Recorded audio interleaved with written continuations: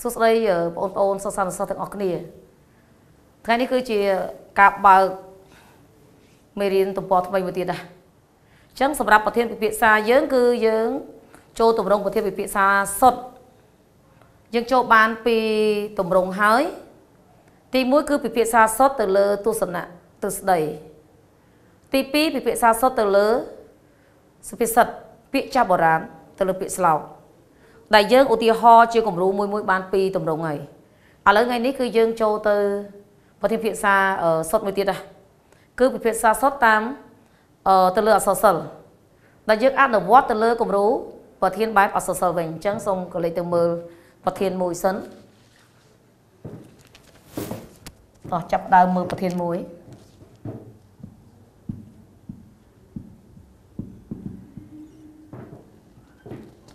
មតិខ្លះយល់ថា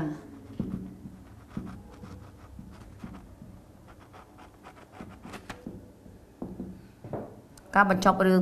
ទុំទាវ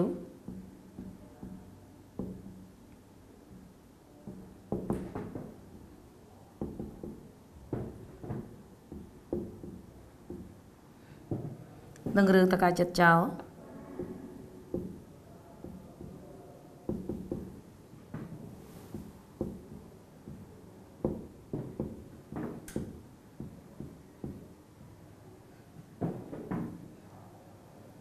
ដោយឲ្យតួអង្គល្អ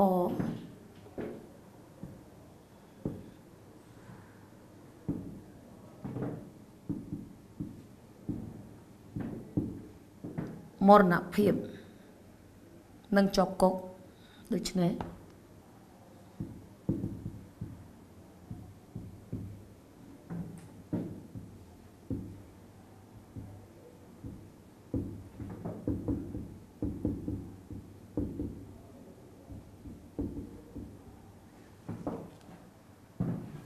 នឹងតប គឺមិនល្អទេ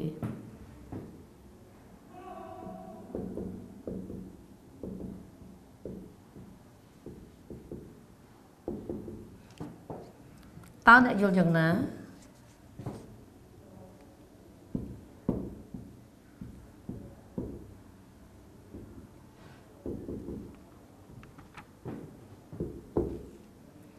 ចូលពិចារណាឲ្យបានច្បាស់លាស់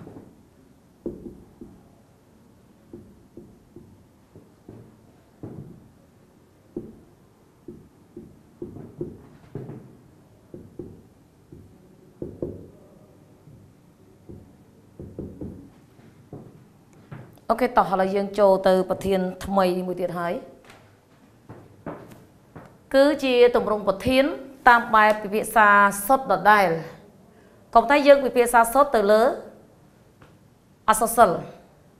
ដោយនៅក្នុងប្រធានបទនេះគឺយើងលើកអសសិលពីររឿងមកនិយាយភ្ជាប់គ្នាតែម្ដងតែគ្រាន់តែនិយាយជុំវិញតែការបញ្ចប់រឿងទេឥឡូវសូមមើលគម្រោងប្រធាននេះបន្តិច កាលណានិយាយពីគម្រោងប្រធានតែស្ដីមួយសម្រាប់ប្រធានពិភាក្សាសុទ្ធដែលគាត់ទៅជារំលឹកដដែលដែរដែរដែរបើសិនជាមិនរំលឹកអញ្ចឹងអត់ចាំព្រោះការនិយាយរបស់គ្រូជាងកាលកូនកូនជាអ្នកសិក្សាហ្នឹងចាំបានមួយផ្លែតក៏ភ្លេចទៅវិញហើយអញ្ចឹងបានគ្រូតែនិយាយថាការបង្រៀនរយៈពេល1ម៉ោងបើសិនជានិយាយពីពុទ្ធិដែលយកទៅផ្ទុកនៅក្នុងគូក្បាលរបស់សិស្សានុសិស្សបានប្រហែលជាបានត្រឹមតែ5នាទីដែលពេញ ដែល full តែសម្រាប់45នាទីទៀតអាច flu អាចខ្វះចន្លោះព្រោះការចងចាំនេះហាក់ដូចជាបាននៅមានកម្រិតនៅឡើយទេទោះបីតែខួរក្បាលប៉កែប៉ុណ្ណាក៏មិនអាចចាំអស់ក្នុងរយៈពេល1ម៉ោងដែរអញ្ចឹងហើយបានទៀមទាឲ្យស្ដាប់ហើយគិតហើយកត់អញ្ចឹងនៅក្នុងការបង្រៀនរយៈពេល1ម៉ោងឬក៏2ម៉ោងនោះគឺការចាំតិចតួចបំផុត កណ្ណាអ្នកគ្រូរំលឹកឡើងវិញនៅគោលការណ៍គ្រឹះនេះគឺដើម្បីឲ្យបងប្អូនឬក៏កូនកូនសិស្សានុសិស្សដឹងថាការធ្វើតែសេចក្តីមួយ វាត្រូវតែមានលំដាប់លំដោយរបស់វា ចាប់ពីដើមចមកពីអីជិនចូលទៅដល់បញ្ហាអីអញ្ចឹងសម្រាប់ប្រធានបែបពិភាក្សាសុទ្ធលក្ខណៈសម្គាល់នៃប្រធាននេះទី1គឺចាប់ដើមពីផ្ដើមសេចក្តី ដើមសេចក្តីវាត្រូវមានបញ្ហា3សំខាន់គឺលំនាំបញ្ហាចំណោបញ្ហានិងចំណោបញ្ហាដូចធម្មតា ទី2គឺតួសក្តីតួសក្តីចាប់ដើមពីឃ្លាភ្ជាប់ពន្យល់ពាក្យពន្យល់ន័យហើយបន្ទាប់ពីពន្យល់ន័យហើយបានចូលទៅដល់បកស្រាយបកស្រាយនេះចែកចេញជាពីរផ្នែកទៀតទី1គឺមតិស្រប មតិស្របគឺជាមតិដែលនិយាយយ៉ាងណាឲ្យស្របទៅនៅអ្វីដែលប្រធានបានលើកឡើងអញ្ចឹងប្រសិនបើប្រធានលើកពីអីយើងត្រូវនិយាយការពារមតិប្រធានដោយធ្វើយ៉ាងណាមិនឲ្យប្រះចាកទៅនឹងគោលដៅដែលប្រធានបានលើកឡើងទេទោះបីថាគំនិតយើងអត់យល់អញ្ចឹងក៏ដោយតែខាតទៅទៅរកហេតុផលបញ្ជាក់មកថាវាពិតជាអញ្ចឹងបន្ទាប់ពីនៅក្នុងមតិស្របវាត្រូវមានគំនិតសំខាន់វាត្រូវមានសេចក្តីលំអិតគ្រប់ត្រវាត្រូវមានឧទាហរណ៍ ក៏ប៉ុន្តែយើងចាំមើលតើប្រធាននេះយើងត្រូវមានឧទាហរណ៍យ៉ាងម៉េចហើយបន្ទាប់មកបានយើងសរុបមតិស្របយកសរុបមតិស្របហើយបានឈានចូលទៅដល់មតិផ្ទុយមតិផ្ទុយនេះគឺគ្រូតែងប្រាប់ជារឿយៗហើយថាគឺជាការនិយាយយ៉ាងណាឲ្យផ្ទុយទៅនឹងការលើកឡើងនៃមតិប្រធានអាហ្នឹងគឺនិយាយសម្រាប់តែប្រធានវិភាសាមតិមួយទេអញ្ចឹងនិយាយឲ្យផ្ទុយទៅទៅទៅការលើកឡើងរបស់ប្រធានបើប្រធានគេលើកថាអញ្ចឹងយើងត្រូវទៅឲ្យផុសថាមិនមែនអញ្ចឹងទេ ក្នុងមតិផ្ទុយនេះទោះបីថាគំនិតយើងអត់យល់ឃើញអញ្ចឹងក៏ដោយដាច់ខាតទៅទៅរកឲ្យផុសបញ្ជាក់ថាអូវាប្រកាសជាអញ្ចឹងហើយបានចូលទៅដល់ក្នុងមតិផ្ទុយនេះវាមានគំនិតសំខាន់វាមានសេចក្តីលំអិតគ្រប់ត្រវាមានឧទាហរណ៍ហើយនឹងសរុបមតិដូចគ្នានិយាយរួមទៅបកស្រាយមតិមួយចប់សរុបម្ដងហើយបានឈានចូលទៅដល់សង្យុគមតិសង្យុគមតិគឺជាធៀបផ្សំរវាងមតិស្របនិងមតិផ្ទុយបានតែយើងច្បិចអាស្របបន្តិចមកនិយាយមក ច្បិចអាតិចមកនិយាយអាផ្ទុយបន្តិចមកនិយាយមករួចហើយយើងមិនបញ្ចូលគ្នាទៅបានទៅជាសង្យុគមតិមួយហើយពេលខ្លះក៏វាគ្រប់គ្រាន់ពេលខ្លះក៏មិនគ្រប់គ្រាន់ពេលខ្លះអាចបំពេញបន្ថែមដល់កម្រិតផ្សេងទៀតទៅតាមអ្វីដែលយើងមើលប្រធានបទនឹងលើកឡើងហើយនឹងចូលទៅដល់ចំណុចទី3ធំគឺទូបញ្ចប់សក្តីបញ្ចប់សក្តីនេះគឺយើងត្រូវមានចំណុចធំធំពីរទី1គឺយើងចាប់ដើមពីវាតម្លៃការវាតម្លៃប្រធាននេះគឺវាតម្លៃ ទៅលើប្រធានបទទាំងមូលហើយប្រធានតម្លៃប្រធានតាមបែបពិភាក្សាសុទ្ធនេះគឺចោតច្រើននៅយើងវាតម្លៃច្រើនហើយដូចជាសមហេតុផល មិនសមហេតុផល គ្រប់ជ្រុងជ្រោយត្រឹមត្រូវឬក៏មិនទាន់ត្រឹមត្រូវទាំងស្រុងខុសឬត្រូវអញ្ចឹងទៅនឹងទៅតាមការដែលយើងលើកប្រធានមកហើយយើងអាចវិតម្លៃតាមនឹងបានបន្ទាប់ពីវិតម្លៃហើយយើងចូលទៅដល់អឺមតិផ្ទាល់ខ្លួន ការបញ្ចេញមតិផ្ទាល់ខ្លួនសម្រាប់ការធ្វើតាំងសេចក្តីមួយគឺទាមទារឲ្យយើងនឹងលើកយកទស្សនៈផ្ទាល់ខ្លួនយកបកផ្ទាល់ខ្លួន បញ្ចេញទៅលើការបកស្រាយតើការបកស្រាយនឹងប្រធានបទនឹងវាល្អប្រសើរវាមានតម្លៃអ្វីហើយក៏យើងអាចបន្ថែមជាទស្សនវិស័យមួយក៏បានដែរជាកតិអប់រំកែលម្អឬក៏ជាអ្វីផ្សេងទៀតក៏បានអូខេឥឡូវសូមមើលទៅគម្រោងប្រធានបែបពិភាក្សានេះបន្តិច ភាសាសុទ្ធនេះមួយទៀតគឺពិភាក្សាទៅលើអសរសិល្ប៍មុននឹងធ្វើតែស្រីអានប្រធានណាអានយ៉ាងហោចដល់ក៏បាន3ចប់ដែរអានឲ្យយល់មតិខ្លះយល់ថា ការបញ្ចប់រឿងទុំទាវ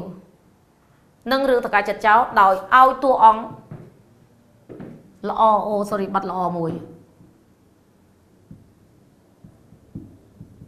តួអង្គល្អមរណភាពនឹងជាប់គុកដូចនេះ គឺមិនល្អទេម្ដងទៀតការបញ្ចប់រឿងទុំទាវនិងរឿងតកាចិត្តចោលដោយឲ្យតួអង្គល្អមរណភាព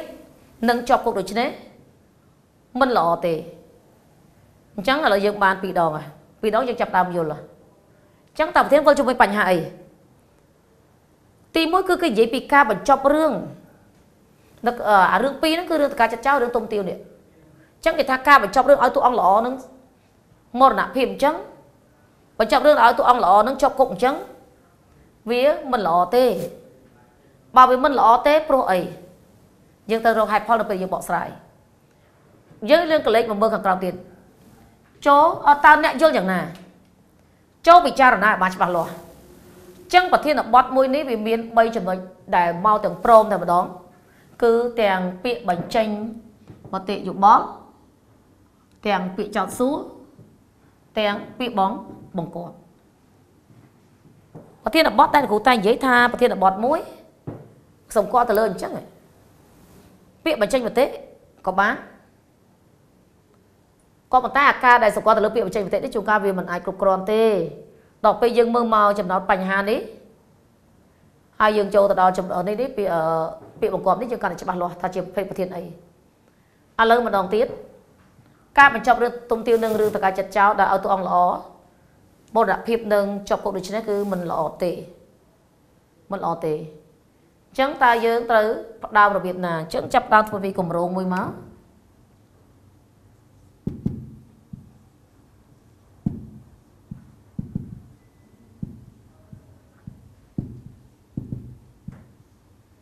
ដើមសេចក្តីដើមសេចក្តីនេះគឺជាការនាំបញ្ហារបស់ប្រធានណា ស្អីក៏ដោយក៏ត្រូវតែមានផ្ដើមដែរតែមានបើគឺមានបတ်ទៅវិញអញ្ចឹងនៅក្នុងផ្ដើមសេចក្តីមិញយើងនិយាយគ្នាថាវាមាន3បញ្ហាទីមួយគឺលំនាំបញ្ហាលំនាំបញ្ហាមិញយើងនិយាយថាធ្វើម៉េចឲ្យស្របទៅនឹងអ្វីដែលធានបានលើកឡើងមកបើសម្រាប់ប្រធានពិភាក្សាលោកគ្រូប្រាប់ថាធ្វើយ៉ាងម៉េចឲ្យភ្ជាប់ទាំងមតិស្របនិងមតិផ្ទុយអានោះគឺជាការល្អឥឡូវយើងមើលមើលតែយើងត្រូវផ្ដោតធ្វើម៉េចដើម្បីឲ្យជាប់មតិសមមតិផ្ទុយ ចាប់ផ្ដើមពីការបញ្ចប់រឿងមកក្នុងសោលវិធីនៃការបញ្ចប់រឿងរបស់កវីនិពន្ធម្នាក់ម្នាក់កវីនិពន្ធម្នាក់ម្នាក់យើងឃើញមានសភាពលក្ខណៈខុសប្លែកគ្នា ទៅតាមស្ថានភាពរឿងពេលខ្លះក៏តួអង្គល្អហ្នឹងក៏ទទួលនៅភាពជោគជ័យទៅពេលខ្លះក៏បរាជ័យទៅវាអាចអាស្រ័យទៅតាមនិន្នាការអ្វីមួយយ៉ាង ក៏ប៉ុន្តែសម្រាប់ជុំវិញការបញ្ចប់រឿងទុំទាវនេះការដែលឲ្យតួអង្គល្អហ្នឹងវាមានបញ្ហាអញ្ចឹងជួនកាលគេគិតថាវាជារឿងមិនល្អដូច្នេះហើយទៅបានវិភាគជុំវិញ ការបញ្ចប់រឿងរឿងទាំងពីរខាងលើនេះក្រោយពីបានវិភាគរួចមកក៏មានមតិខ្លះយល់យល់ថាចឹងយើងចាប់ផ្ដើមលំនាំយើងថាការបញ្ចប់រឿងហ្នឹង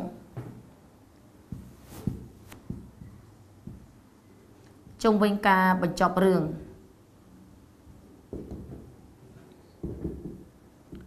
របស់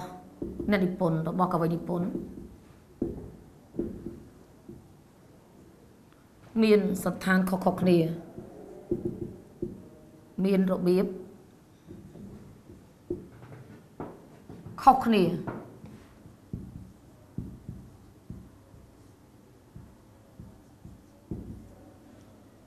របៀបខុសៗគ្នា ពេលខ្លះក៏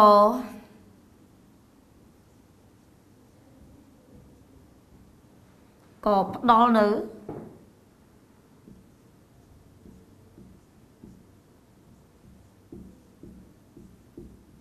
នៅសុខទិនិយម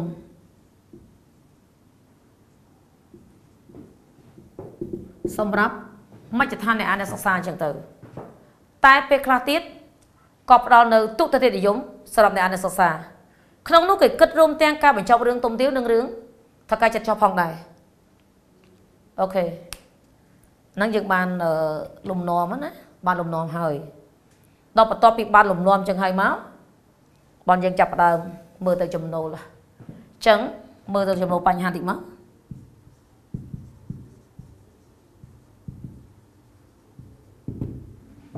ចំនួនបញ្ហាអញ្ចឹងយើងផ្ដល់ថាយើងយើងប្រើពាក្យអី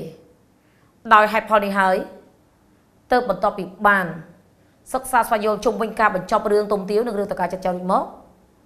មានបេតិកខ្លះយល់យល់ថាអូខេបានយើងលើកតាឃ្លីក្រមអន្តរបញ្ចូលមកការបញ្ចប់រឿងនឹង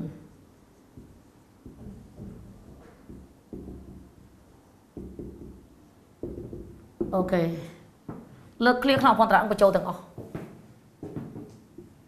តែកន្លែងប្រធានបទខ្លះគាត់ណាសម្រាប់ការធ្វើប្រធានតែសេចក្តីបែបណាក៏ដោយប្រធានខ្លះអត់មានឃ្លាក្នុងអភ័ន្តរៈចាប់ដើមនេះយើងដាក់មកបន្ទាត់យកមកហ្មងមកឃ្លាមកមកប្រយោគយកមកជួនកាលទៀតដាក់មកមកមកមកកំណាប់មកឃ្លាអញ្ចឹងទៅក៏តែមិនប្រើខណ្ឌស៊ីមិនប្រើគ្នាទេមិនប្រើអភ័ន្តរៈទេមិនប្រើអភ័ន្តរៈទេអញ្ចឹងទោះបីថាប្រធាននឹងមានអភ័ន្តរៈក្តីមិនពីអភ័ន្តរៈអភ័ន្តរៈក្តី បានន័យថាអ្វីដែលជាការលើកឡើងគឺជាគំនិតសំខាន់របស់ប្រធានរួចបើសិនជាយើងមើលទៅថាប្រធាននឹងវាអត់មានគ្រាខ្លះអភ័ន្តរៈទេអញ្ចឹងកន្លែងចំណូលយើងត្រូវធ្វើម៉េច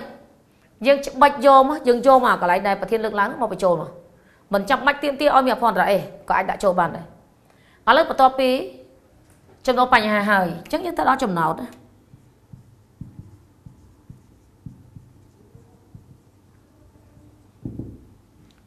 ចំណោទបញ្ហា ចំណោទបញ្ហានេះនៅលើក្តារខៀនយើងមាន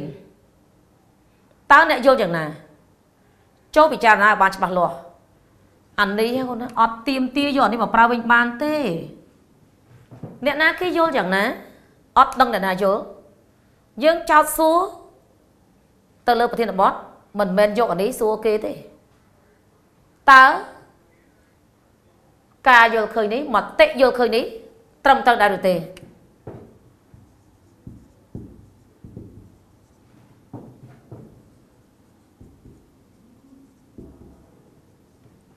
មតិយល់ឃើញនេះ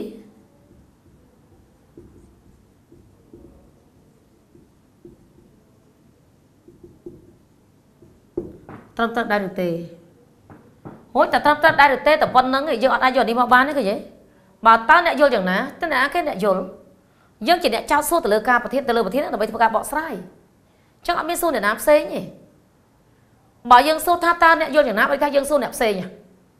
អត់ទេអានេះយើងសួរខ្លួនឯង តើមតិយកឃើញនេះត្រឹមត្រូវដែរដែរឬទេដើម្បីយើងយកអានឹងទៅធ្វើការបកស្រាយវិញតែបើសិនណាកន្លែងនេះមកទៀតចូលពិចារណានេះគឺបន្ថែមមិនបានទេបើបន្ថែមគឺតកូបញ្ជាក់ឲ្យថាត្រូវបាត់បន្ទុកដោយស្វ័យប្រវត្តិបន្ទាប់មកយើងចូលទៅដល់អីតួសេចក្តី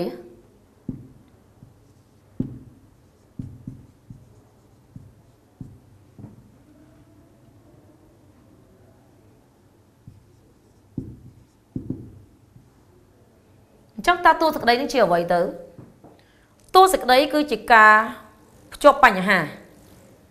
ជាបញ្ហាចម្បងខណៈពេលដែលយើងផ្ដើមហើយយើងចូលមកដល់គុំបញ្ហាសំខាន់ក្នុងប្រធានទាំងមូលអញ្ចឹងតួសក្តីវាត្រូវចាប់ផ្ដើមពីអីកាលណានិយាយពីតួសក្តីមួយវាត្រូវចាប់ផ្ដើមពីឃ្លាភ្ជាប់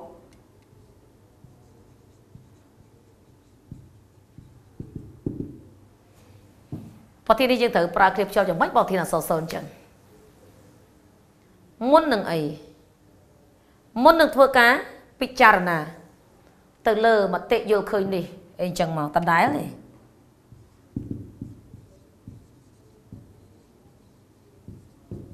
អូខេធ្វើការពិចារណាចឹងមកឲ្យច្បាស់លាស់គ្រប់គ្រាន់នៃសេចក្តីហើយបានយើងចូលទៅដល់ពុនយល់ពាក្យ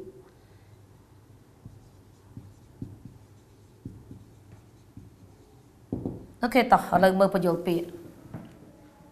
ពាក្យយ៉ាងម៉េចបានយើងត្រូវយកលើកយកបញ្យលពាក្យដែលវិវល់ជាមួយបញ្ហាប្រធានការបញ្ចប់រឿងទុំទាវនិងរឿងថាការចចាដែលឲ្យតួអង្គល្អមរណភាពនឹងជាប់គុកដូចនេះមិនល្អទេអញ្ចឹងគេចង់និយាយថាការបញ្ចប់រឿងឲ្យតួអង្គល្អហ្នឹងគឺមរណភាពហើយនឹងជាប់គុកហ្នឹងគឺមិនល្អទេអញ្ចឹងប្រកាសជាវិលជាមួយអីតួអង្គល្អវាយ៉ាងម៉េច តួអង្គល្អគឺមរណភាពតួអង្គល្អវាយ៉ាងម៉េចវាជាប់គុកអញ្ចឹងប្រកាសជាវិលជុំវិញពាក្យហ្នឹងទីមួយគឺពាក្យថាមរណភាពអញ្ចឹងគ្រូលើកយកមកដាក់ខាងលើមកបញ្យកពាក្យ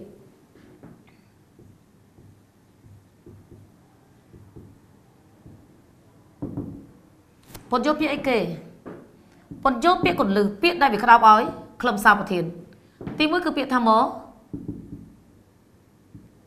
មរណភាពទី2គឺពាក្យថាជាប់គុក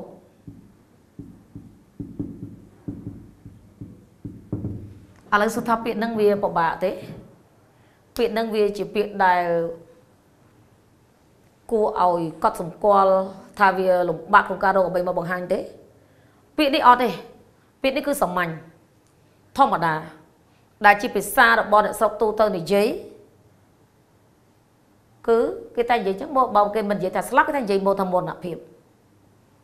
បើគេមិននិយាយថាជាប់គុកគេថាជាប់ក្នុងមន្ទីរឃុំឃាំងអូខេអញ្ចឹងពាក្យហ្នឹងសាមញ្ញកុំតែអីត្រូវបញ្យលបើពាក្យសាមញ្ញចឹងចាំបាច់បញ្យលធ្វើអី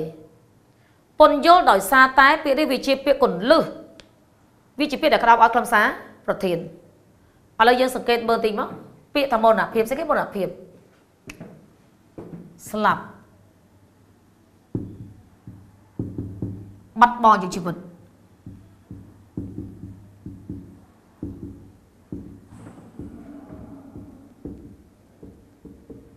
អូខេហ្នឹងហៅថាមរណភាពដល់ឯងពេលតែជាប់គុកមានន័យថាជាប់ក្នុងមន្ទីរឃុំឃាំង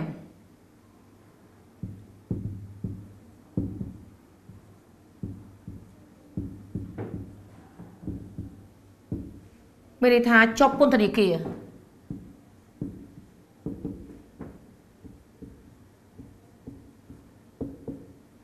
ជាប់ពន្ធនាគារអាហ្នឹងហៅថាជាប់គុកអឺហើយចុះបញ្យល់ទៅអីចឹងបញ្យល់ទៅឲ្យដឹងព្រោះវាជួបបញ្ហាប្រធានបន្ទាប់ពីបញ្យល់ពាក្យហើយបានចូលទៅដល់អីពន្យល់ន័យ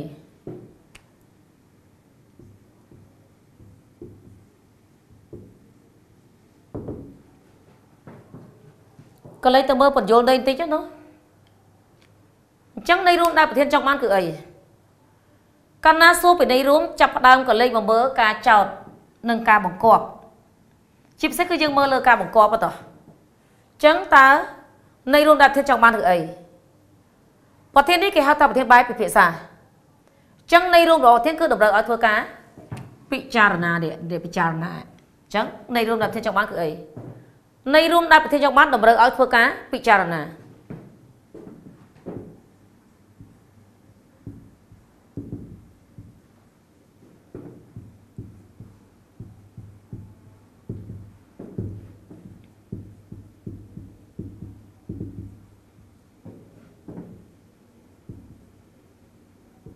អូខេតម្រូវឲ្យធ្វើការពិចារណាជុំវិញអី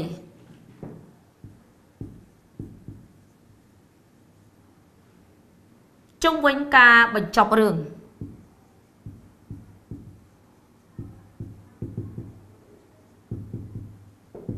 អូខេអញ្ចឹងមកអញ្ចឹងពិចារណាជុំវិញការបញ្ចប់រឿងទាំងពីរហ្នឹងគឺរឿងទុំទាវហើយនិងរឿងតកាយចិត្តចោលដោយឲ្យតួអង្គល្អនេះស្លាប់ជាប់គុកជាប់ក្នុងទីឃុំឃាំងអញ្ចឹងគេគិតថាជាការបញ្ចប់មួយមិនមិនល្អអញ្ចឹងយើងពិចារណាមើលតើអញ្ចឹងឬក៏អត់ទេអូខេឥឡូវយើងបានយើងបានមកផ្នែកហ៎ដែលចាប់ពីពីពីដើមមករំលឹកឡើងវិញតិចព្រោះជួនកាលអ្នកគ្រូនិយាយទៅវាញាប់ពេកវាលឿនពេកស្ដាប់អត់បានអញ្ចឹងគ្រូអាចសវ័យឡើងវិញចាប់ពីផ្ដើមសេចក្តីលំនាំបញ្ហាប្រធានបទនេះជាប្រធានបែបពិភាក្សាសុទ្ធអញ្ចឹងគេលើកទៅលើ ពិភាក្សាសុទ្ធក៏ប៉ុន្តែទៅលើអសរសិល្ប៍អញ្ចឹងយើងលើកយករឿងពីរមកនិយាយដោយជុំវិញការបញ្ចប់រឿងអញ្ចឹងបើផ្ដើមឲ្យវាល្អផ្ដើមឲ្យវាចូល ទៅបញ្ហាយើងត្រូវចោតដោះស្រាយទៅទៀតគឺផ្ដើមឲ្យភ្ជាប់ទាំងមតិស្របទាំងមតិផ្ទុយផ្ដើមធ្វើម៉េចឲ្យភ្ជាប់ទាំងមតិស្របនិងមតិផ្ទុយការផ្ដើមឲ្យភ្ជាប់ទាំងស្របទាំងផ្ទុយនេះបើសិនជាតាមកំណត់នគរត្រូវផ្ដើមពីមតិផ្ទុយមកវិញ កំណត់សំខាន់នៃមតិផ្ទុយមកវិញហើយបើយើងអាចភ្ជាប់ទៅនឹងមតិស្របបានឥឡូវផ្ដើមពីកំណត់សំខាន់មតិផ្ទុយយ៉ាងម៉េចនេះជុំវិញការបញ្ចប់រឿងយើងសង្កេតឃើញថាកវិនិពន្ធបាន មានរបៀបបញ្ចប់ខុសគ្នាខុសៗគ្នា ពេលខ្លះក៏ផ្ដល់នៅកំណត់សុខធិនិយមសម្រាប់អ្នកអានអ្នកស្ដាប់អ្នកសិក្សានេះអាកំណត់សុខធិនិយមនេះ វាក្តោបជាប់ទៅលើនេះមួយនេះនេះល្អយើងអត់យកពាក្យមិនល្អបញ្ចប់រឿងហ្នឹងល្អហ្នឹងគឺវាតកតង με ផ្ទុយតែពេលខ្លះទៀតការបញ្ចប់រឿងហ្នឹងក៏វាផ្ដល់នូវកម្រិតទុតិធិនិយមដល់អ្នកអានអ្នកសិក្សាទៅវិញដោយសារតែសកម្មភាពស្ថានភាពនៃតួអង្គ កំពុងតែជួបនឹងរឿងរ៉ាវអីហ្នឹងវាគួរឲ្យអាណិតអសរអាណិតធម៌ហ្នឹងបែរជារងនៅផលប៉ះពាល់ក្នុងនោះគិតរួមទាំងការបញ្ចប់រឿងទុំទាវនិងការបញ្ចប់រឿងថាការចិត្តចប់ផងដែរអូខេឃើញទេនឹងយើងបានលំនាំហេតុផលនេះហើយទៅបន្ទាប់ពីបានសិក្សាស្រាវជ្រាវជុំវិញការបញ្ចប់រឿងទាំងពីរខាងលើរួចមកមតិខ្លះយល់ថានេះអាមតិខ្លះយល់ថាហ្នឹងគឺកូនចាប់ផ្ដើមចូលទៅចំណូលនេះនេះនេះ ចូលបញ្ហាហ្នឹងលើកនឹងបញ្ចូលមកហួយដល់ទៅពេលចំណូលនឹងហើយបានចូលលើកនឹងបញ្ចូលអស់ហើយបានចូលទៅដល់ចំណោតចំណោតនេះងាកមកមើលម្ដងទៀតណាមិនមែនយកអានេះមកវិញបាក់បានទេតើអ្នកយល់យ៉ាងណាអ្នកណាគឺជាអ្នកយល់យ៉ាងណាអត់ដឹងទេអញ្ចឹងយើងចោទសួរខ្លួនឯងយើងដោះស្រាយខ្លួនឯងតើការយកឃើញនេះត្រឹមត្រូវដែរឬទេ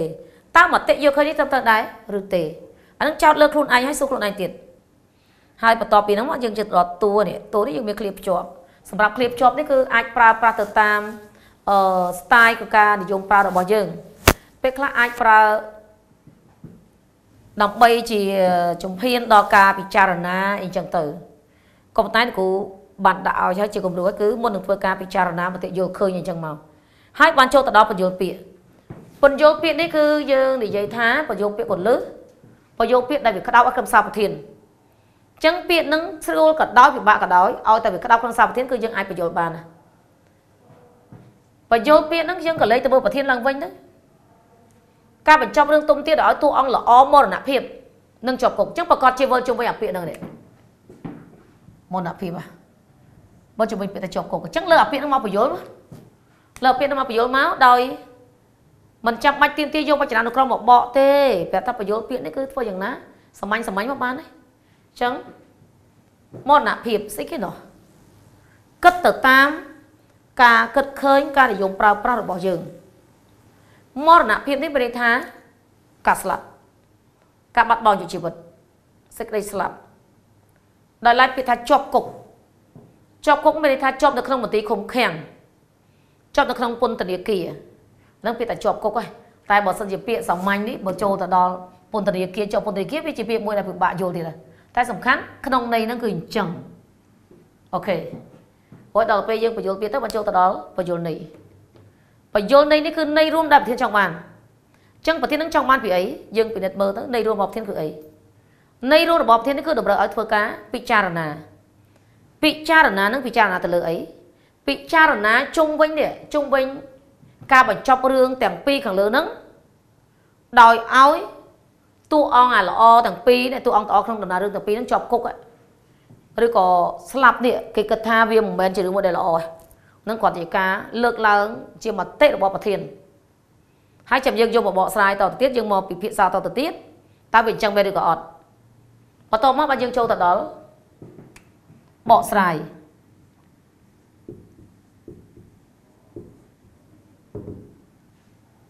បកស្រាយ នៅក្នុងបំណងស្រាយនេះវាមានអីចាប់ផ្ដើមពីអីទី1គឺមតិស្រប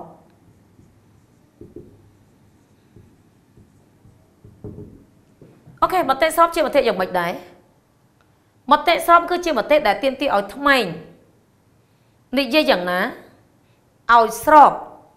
ទៅនៅអ្វីដែលប្រធានបានលើកឡើងនិយាយរួមទៅបើប្រធានលើកពីអីគឺយើងនិយាយឲ្យស្របទៅនៅនឹងមកឥឡូវយើងមើលទៅ មតិស្របកំណត់សំខាន់នៃមតិស្របនេះគឺអី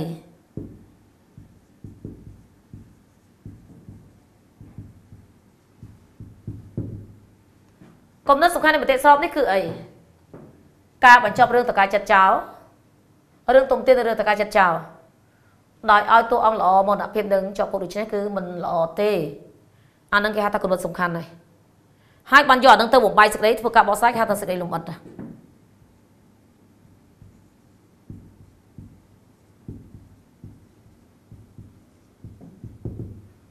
អូខេសេចក្តីលំអិតគឺជាការបំបែកបញ្ហារបស់ប្រធានមកធ្វើការបកស្រាយឥឡូវយើងនិយាយថា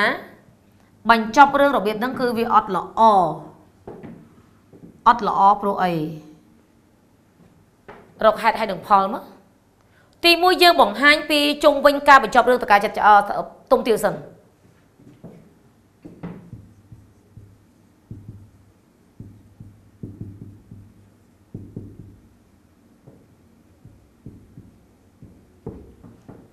រួចហើយបានយើងដឹងថា ការបញ្ចប់រឿងរបៀបហ្នឹងគឺមិនល្អ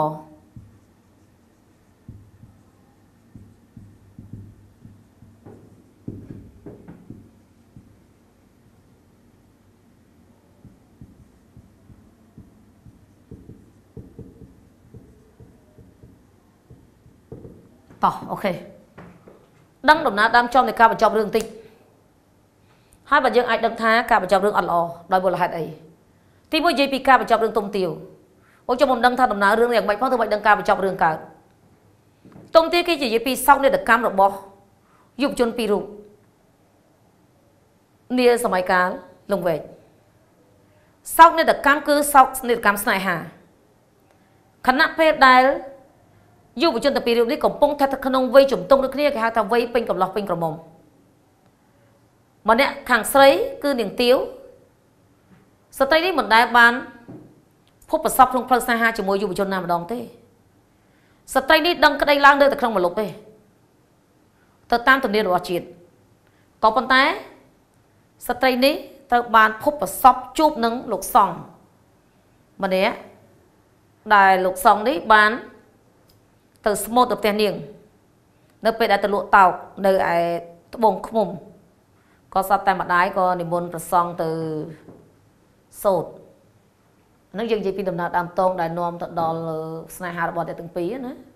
ហើយបានតាក់តងទៅនឹងការបញ្ចប់រឿងតែនគរយាយនេះមិនមែនឲ្យយើងលើកដំណើររឿងមកទៅទៀតគេស្ដាប់ទេគាត់ថានិទានរឿងអ្នកគ្រូបំពេញបញ្ហាឲ្យទៅឈានទៅដល់ការបញ្ចប់រឿងអ្នកគ្រូនិយាយឲ្យស្ដាប់ហ្នឹងគឺដើម្បីឲ្យកូនយល់ថាមិនបានរឿងទៅបញ្ចប់អញ្ចឹង អញ្ចឹងកន្លែងដែលអ្នកគ្រូនិទានរឿងឲ្យស្ដាប់មិនមែនអ្នកគ្រូឲ្យកូនយកទៅបញ្ចូលក្នុងតែសេចក្តីទេគ្រាន់យើងបង្ហាញថាការបញ្ចប់រឿងរបៀបម៉េចមិនបានជាឈានទៅដល់ការបញ្ចប់រឿងរបៀបហ្នឹងទុំឲ្យនឹងទាវនេះបាននិយាយទៅគ្រាន់តែឃើញគ្នាភ្លាមស្រឡាញ់ផ្លែតហ្មងដំបងឡើយម្ដាយទាវក៏និមន្តទៅស្មូតណាតាមរយៈអឺពាក្យសម្ដីរបស់នាងណូនាងណូក៏បានប្រាប់ទាវទាវក៏ចង់ដឹងក៏ រំអុកម្ដាយឲ្យទៅនិមន្តនេះមកស្មូតហូចដល់ពេលម្ដាយនេះអត់បានដឹងរឿងទេក៏និមន្តនេះមកស្មូតទៅ ទាំងពីរអ្នកនេះគ្រាន់តែឃើញគ្នាភ្លាមដំបងឡើយគឺទុំទុំនេះម្ដាយទាវឲ្យ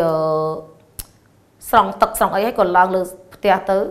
ហើយម្ដាយទាវក៏ពិតទូប្រគេនគ្រឿងបរិក្ខារក៏ពិតទូថាស្មូតឬក៏មើលសត្រាសូមសូមនិគុណហ្នឹងគឺឲ្យអស់សេចក្តីមកពីព្រោះញាតសន្តានចោម ស្ដាប់រោមច្រើនណាស់រោមចង់ស្ដាប់ច្រើនណាស់ដូចជាអឺនិយាយហើយក៏ទុំនេះក៏ងើបប្រភ័ក្រឡើងពីព្រោះកាលណាលោកគង់លោកអត់អាចងាកឆ្វេងងាកស្ដាំបានទេជាតម្រុតរបស់លោកគឺគង់តាណាមើលទៅមុខបានតែ7ជំហានអាហ្នឹងមិនដឹងថាវាជាពិតឬមិនពិតទេព្រោះធ្លាប់តែលើចាស់ចាស់គាត់ដំណើរអញ្ចឹងហើយដល់ពេលអញ្ចឹងទៅលោកគង់ទៅសាម្ដាយទាវប្រាប់អញ្ចឹងក៏ទុំក៏ងើបប្រភ័ក្រឡើងទៅក៏សត្វតែឃើញទាវ កំពុងតែឈររៀនរៀននៅឯក្នុងបន្ទប់ក្បែរចង់ចេញពីបន្ទប់ទៅចង់ចូលបន្តិចអឺអ្នកនិពន្ធព័ត៌មានថាម៉េចរួចនេនស្ដាប់ជាក់ជាក់ព្រឹកប្រឹងភ្នែកគុណសម្លឹងទៅមាត់ទ្វារយល់ទាវឈរស្ទប់ដើររារាស្ទុះស្ទាចូលក្នុងស្លងចេញក្រៅអាហ្នឹងសម្រាប់ទុំណាគាត់មើលឃើញអញ្ចឹងដល់ឡៃទាវវិញអើតអើមដកកច្រហមាត់ចង់ចេញប្រកាសគ្មានគេហៅ សុតស្លឹងម្នាក់ឯងដោយក្មេងសើស្ទុះចូលយកអាវពាក់ពីពីនីអាហ្នឹងនិយាយពីទាវវិញដល់ពេលទុំចាប់ដើមពេលហ្នឹងយ៉ាងម៉េចខ្លួនឯងកំពុងតែក្រងស្អងជាពក៏ប៉ុន្តែនេនយល់ដូច្នោះក្នុងពោះព្រួចកាន់គួចកើតទុកចុកអរ៉ាអោរូបនឹងហើយទាវពងាមិនងាកបំពៀបំពេណោពេលនឹងឯងស្នេហាភ្លើងច្បើងស្នេហាកម្មរន្ទះចាប់ដើមឡើងទុំហើយនឹងទាវនេះ ចាប់ចិត្តប្រតិពលគេទៅវិញទៅមកទាវបានពៀននីកម្មាសៀកពាក់សក់គ្រប់ពីរមីហើយក៏ចេញមកនៅមសកាទុំដោយប្រកេនប្រហុំដន្លាប់ស្លាបរីប្រកេនប្រហុំនៅរុកសងប្រកេនដន្លាប់ដន្លាប់គឺជាឧបករណ៍ដែលគេធ្វើពីក្លឹមឈើដើម្បីដាក់កមួនរួចដល់ពេលប្រកេនឲ្យទាវនេះទៀតអធិដ្ឋានសូមឲ្យបានរួមរយៈជាមួយទុំសូមឲ្យបានជួបទុំជាគូគាត់ ចឹងមិនដឹងថាពីរនាក់ណាចាប់ផ្ដើមមុនទេទីបំផុតនៅពេលដែលទុំត្រឡប់ទៅទុំក៏បានដាក់ខ្សែទាវដែរគឺលិនថោងសាកលិនថោងទុំត្រឡប់ទៅវិញទុំក៏បានរៀបរាប់អឺសុំម្ដាយសុំប្រគូចតិកាសឹកតែប្រគូចតិកាគឺមិនឲ្យសឹកទេដោយសារតែវាយជើងលេខទៅប៉ះចាប់លេខ0តែទុំមិនអាចទ្រាំបានទៅហក់ម៉ែទៀតសុំឲ្យម៉ែហ្នឹងជួយមកបិទទូនិគុណដើម្បីឲ្យបានសឹក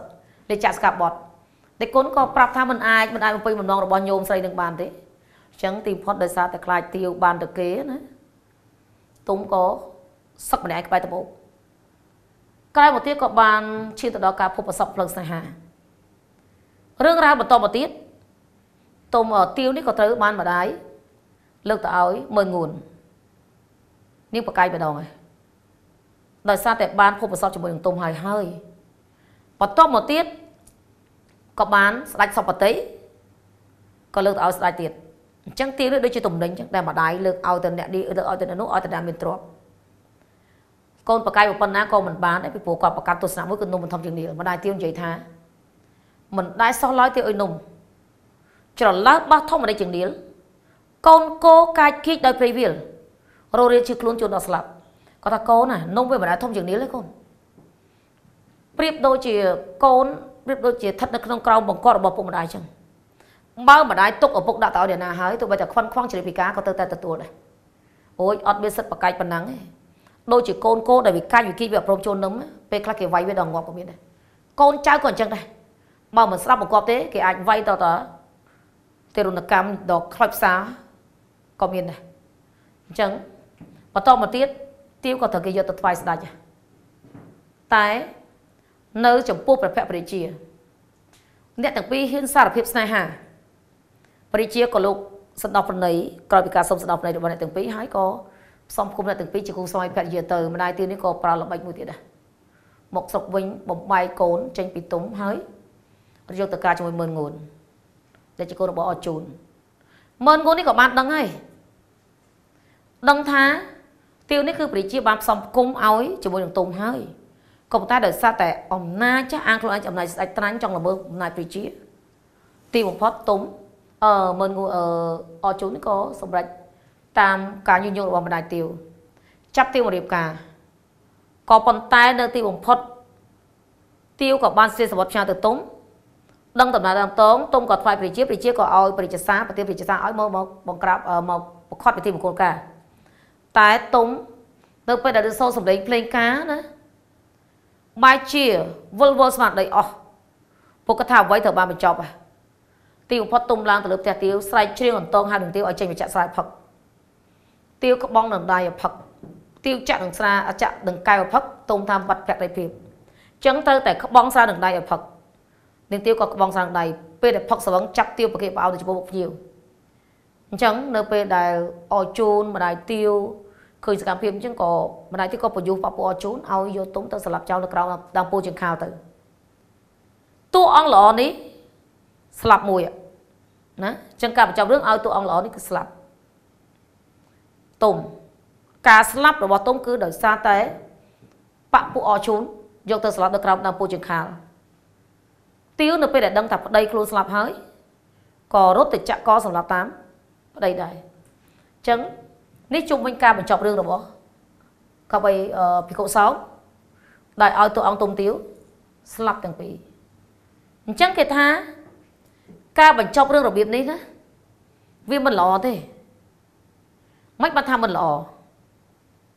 បញ្ចប់រឿងរបៀបនេះវាហាក់ដូចជាមិនបាន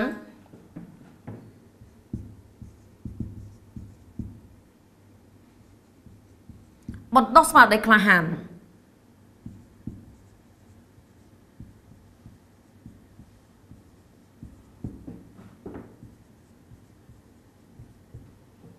ដល់យុវជនចំនួនក្រោយ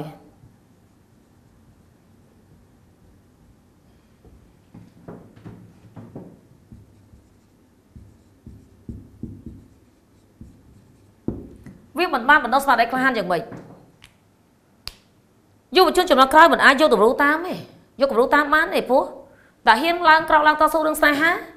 វាជួបបញ្ហាអញ្ចឹងហើយវាជួបបញ្ហាអញ្ចឹងគេក្លាហានទៅអីចង់មានបណ្ដោះស្មារតីក្លាហានសម្រាប់យុវជនចំនួនក្រោយទេ ទឹកគេថាបញ្ចប់រឿងវាអត់ល្អមួយទៀតការបញ្ចប់រឿងរបៀបនេះរបៀបនេះវាធ្វើឲ្យហាក់ដូចជាបណ្ដោះស្មារតីទុតិធិនិយមមួយ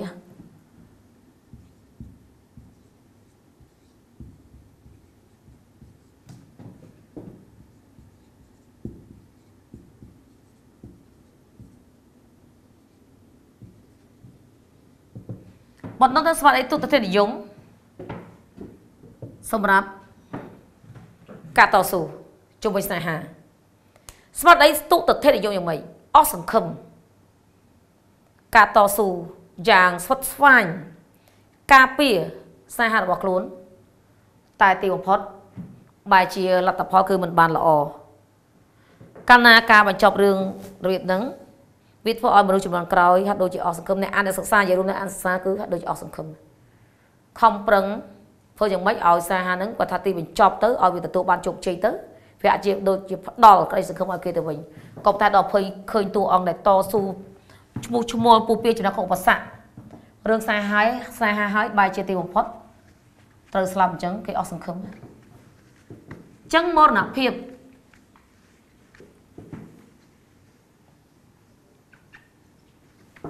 របស់អ្នកទាំងពីរនេះ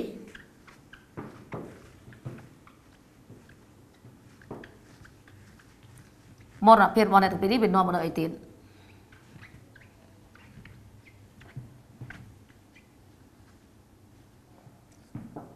ចឹងកាលណាគឺគេនិយាយពីមិនល្អដោយសារតែមរណភាពរបស់អ្នកទាំងពីរនេះវាហាក់ដូចជាឲ្យតម្លៃទៅលើ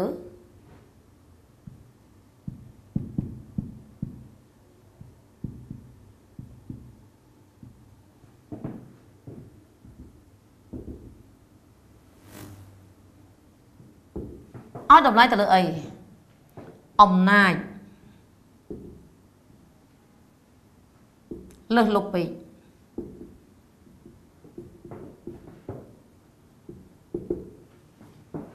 អំណាចលើសលប់ពេកយ៉ាងម៉េចឥឡូវយើងមើលមើលដូចជា នៅពេលនោះគឺអំណាចវាមាន3អំណាចមេបាអំណាចស្ដេចត្រាញ់និងអំណាចស្ដេចផែនផែនដី ចឹងកាលណាយើងបញ្ចប់រឿងដល់ឲ្យតួអង្គនឹងវាអូជាប់គុកអញ្ចឹងអត់ sorry ឲ្យតួអង្គនឹងស្លាប់អញ្ចឹងអត់ទេអំណាចអ្នកដែលហ៊ានប្រឆាំងនឹងអំណាចគឺត្រូវស្លាប់អញ្ចឹងអញ្ចឹងអ្នកអានសិក្សានេះมันអាចយកជាគំរូល្អបានទេពីព្រោះមើលទៅវាអត់ល្អសម្រាប់ការរស់នៅរបស់គេគ្រាន់តែក្រោកឡើងតស៊ូរឿងស្នេហាអំណាចទាំង3គ្របសង្កត់ជាប់តែហ៊ានល្មើសតែល្មើសទៅស្លាប់អញ្ចឹង នេះគឺជាចំណុចមួយទៀតដែលបញ្ជាក់ថាការបញ្ចប់រឿងគឺវាអត់ល្អទេមួយទៀតការបញ្ចប់រឿងរបៀបនេះវាបង្ហាញពីអីបង្ហាញពី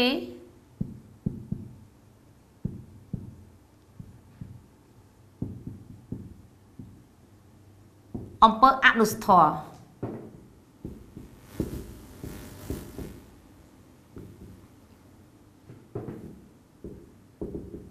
អយុត្តិធម៌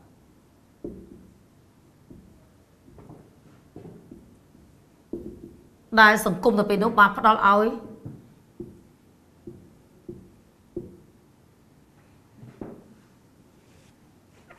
អូខេកុំដាក់អញ្ចឹង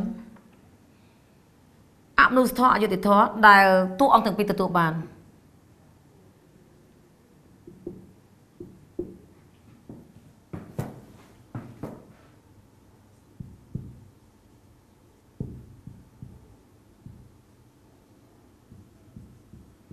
ស្នេហារបស់គេពីសេចក្តីណា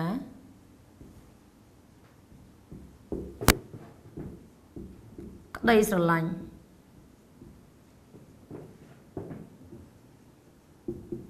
របស់ពួកគេអឺមិនទៅណោះបង្ហាញពីអំពើអបិសធរអយុត្តិធម៌ដែលតួអង្គទាំងពីរទទួលបាន ពីសេចក្តីណាក្តីស្រឡាញ់របស់ពួកគេ វាអយុត្តិធម៌សម្រាប់ពួកគេយ៉ាងម៉េចទៅវាអនុស្ធរយ៉ាងម៉េចទៅវាសាហាវវាខោខើវាព្រៃផ្សៃគ្រាន់តែរឿងជុំវិញរឿងស្នេហាប្រប៉ុណ្្នឹងសោះណាក៏សត្វតែឲ្យតួអង្គនេះស្លាប់ឲ្យតួអង្គនេះបន្សល់ទុកនៅសោកនាដកម្មស្នេហាមួយដ៏សម្រាប់ទុកក្នុងទំព័រវត្តសាស្ត្រនៃអសរសិលជាតិអូយដល់ទៅពេលបញ្ចប់អញ្ចឹងទៅវាធ្វើឲ្យអ្នកអានសិក្សាហាក់ដូចជាអស់សង្ឃឹមខ្លាំងហើយក៏នៅមានចំណុចទៀតដទៃទៀត សម្រាប់លើកយកមកបង្ហាញផងដែរមានចំណុចអីសូមជួយបន្ថែមខ្លួនឯងផងអឺហើយបានយើងចូលមកមួយទៀតគឺ ការបញ្ចប់រឿងថាការចាត់ចោល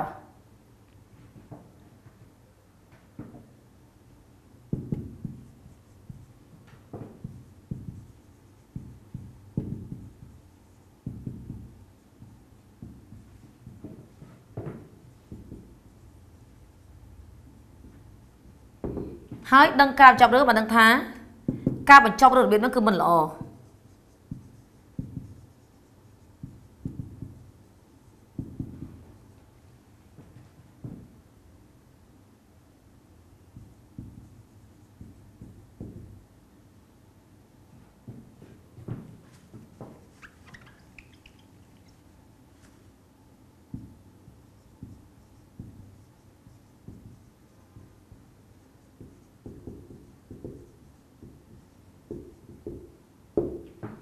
តោះឥឡូវមុនដឹងថា